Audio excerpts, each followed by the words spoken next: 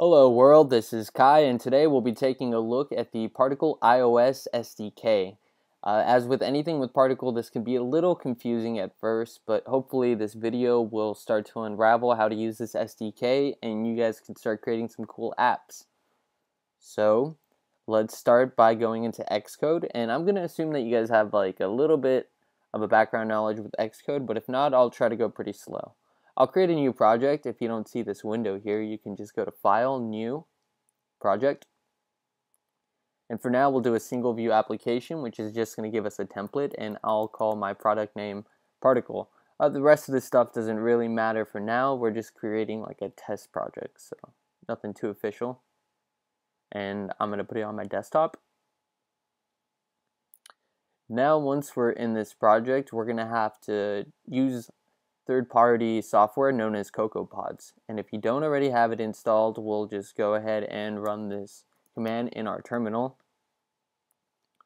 invoking the super user do gem install CocoaPods, and you would click enter. I already have it installed, so I'm not going to go through that. And then you would just update it right here using your uh, the update command that they have. But it should be updated anyways, then I'll print the working directory and go to that new Xcode project that we just created, which is on my desktop in this particle directory. So cd desktop particle. And if I print what's inside of it, sorry, uh, using the ls command, I can see these files right here. Now what I need to do is create a new pod file, so I'll do pod init. And we can see that we now have this new pod file inside the directory, and I can either open it in the terminal or with a text edit, it doesn't matter. What I need to do in here is uncomment these first, uh, these hash marks right here. It tells us to do it in here. And what I have to do next is to tell this which CocoaPod to use. So I'll go into their uh, particle, their reference right here, and it says use this key right here, pod spark SDK. So if I go into the text edit and I paste that in there, save the pod file, close it out, and then in my terminal, I'll do pod install this might take a little while, but now it's going to actually install this repository inside of our project, and we're going to get a new type of file. It's going to be a workspace, and that's what we're going to want to use instead of using the Xcode project. So now I'll close out Xcode, and I'll double click the XC workspace. Now we're not done yet. In order to use Swift and use the iOS SDK, we have to create something known as a bridging header. So I'll go to File, New, create a new type of file.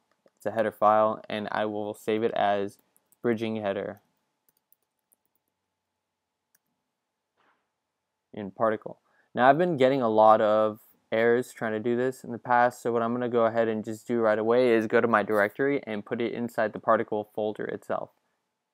And I don't see it there. It's kind of weird. Maybe I'm newbie at this, but this is how I do it. Um, that bridging header we just created, I'm going to drag it into finish. All right, sweet.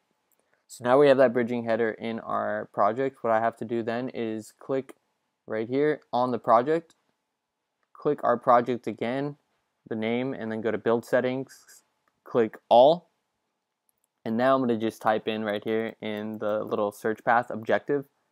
And where it says user header search path, I'll double click, click the plus sign right here, and I'm going to just type in the capital P pods and make sure that this is recursive.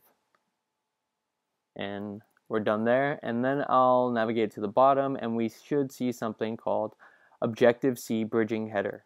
So I'll put in the name of our project, which is just particle forward slash, and then the name of the bridging header that we created inside the project directory, which is bridgingheader.h. Make sure you include that extension. Click enter, and now we're done there.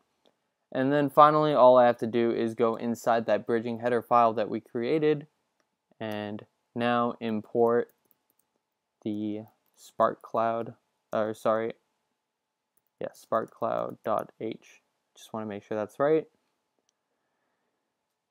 And now if we build the project, we should see that everything is compiled correctly. And there we have it. So now we actually want to go ahead and call upon some functions, and we'll do that in the next particle video.